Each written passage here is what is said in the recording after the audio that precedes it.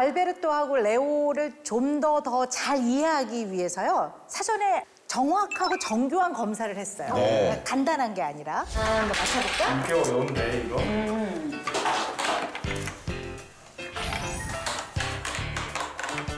와 너무 쉽게 하는데? 어? 벌써 다 했어. 우와 레오 진짜 빨리 한다. 우와 우와 맞았어 맞았어.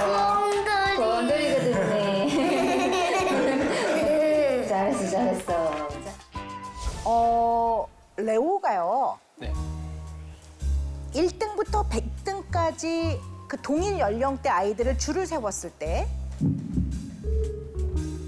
0.3등 안에 들어가요. 0.3등 안에 들어가요.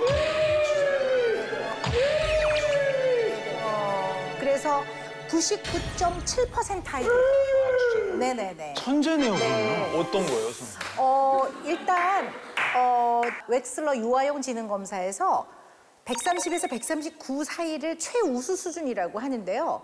레오가 130을 훌쩍 넘더라고요. 네네네. 그리고 뭐 언어적인 것들을 가지고 이해하고 판단하는 것뿐만 아니라 어떤 시각적, 공간적으로 분석해내는 거, 추론을 통해 문제를 해결하고 파악하는 능력들, 정서적인 영향에 의해서 영향을 받는 부분들, 잘 기억하는 거, 집중하고 잘 듣고 이러는 거, 이런 것들을 이제 인지 기능이라고 하는데 모든 영역이 매우 골고루, 매우 우수하게 잘 발달돼 있더라고요.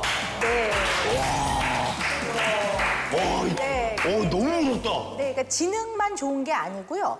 정서적으로도 굉장히 안정돼 있고 편안한 아이고 굉장히 열정적인 아이에 속해요. 그래서 아이가 기본적으로 적극적이고 호기심도 많고 도전적이고 자기의 장점을 인정할 뿐만 아니라 자기가 할 수 없는 한계나 하면 안 되는 한계를 잘 받아들이고 있더라고요. 아이가 어림에도 불구하고. 다섯 살인데? 네, 그런 능력들이 매우 좋고 어, 부모와의 관계에서도 네. 굉장히 애착이 안정적이고 부모를 굉장히 긍정적이고 가까운 사람이라고 잘 생각하고 있고 그래서 굉장히 잘 발달된 아이라 사실은 아이들은 타고난 거와 키워지는 거의 합입니다.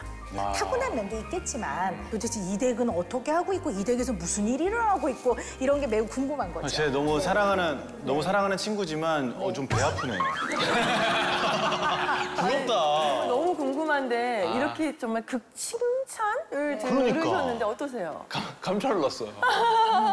네. 특히 아마 모든 부모의 마음은 그거죠. 우리 아이, 아이가 잘 그래도 잘 성장하고 있나.